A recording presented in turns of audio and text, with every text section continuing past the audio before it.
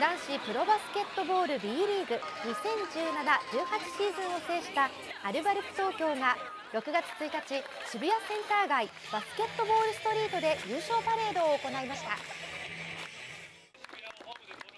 パレードの前に行われた報告会ではお祝いに駆けつけた長谷部渋谷区長の挨拶の後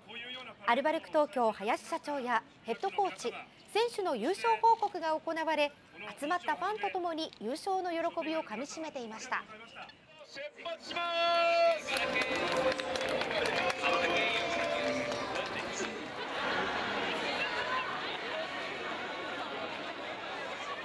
パレードが始まると選手たちは2000人を超えるファンに囲まれ写真撮影やサインに応じ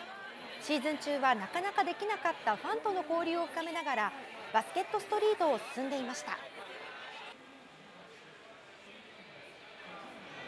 くさんのねあのファンの皆様が集まってくださって、はい、すごく自分たちも楽しんでます。はい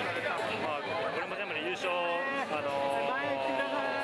できたからこそだと思うので、また来年優勝してね、こうやってみんなの前でいい報告をしたいと思います。あと改めてこう皆さんに応援されてるなっていうのはすごい感じました。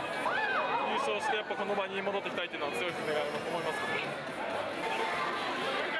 選手もファンも必ずまた来年もと心に誓ったのではないでしょうか。今季のホームゲームをメインで開催した立川市でも優勝報告会が実施され300人を超えるファンが詰めかけました。参加したのは庄永キャプテンをはじめアルバルク東京の選手とコーチ陣クラブの林代表とチアリーダー。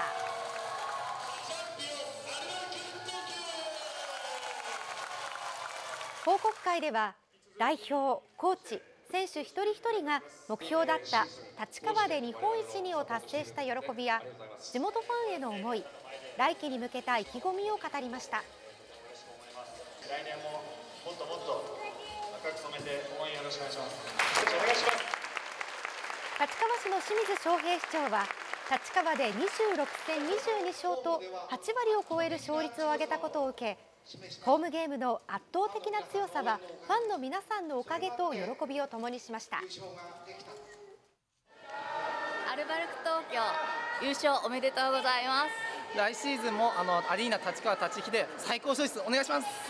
立川で待ってます。B リーグ2代目王者となったアルバルク東京。次は2連覇に向けさらなる活躍が期待されています。今シーズンリーグのチャンピオンのとなることができました。本当に応援ありがとうございました。皆様にまた喜んでもらえるように強いアルバルクの姿をお見せできるように取り組んでいきたいと思います。今後とも応援よろしくお願いいたします。ありがとうございました。